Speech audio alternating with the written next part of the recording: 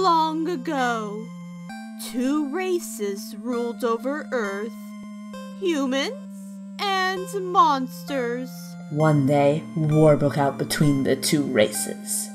After a long battle, the humans were victorious. They sealed the monsters underground with a magic spell. And many years later, Go straight home, children.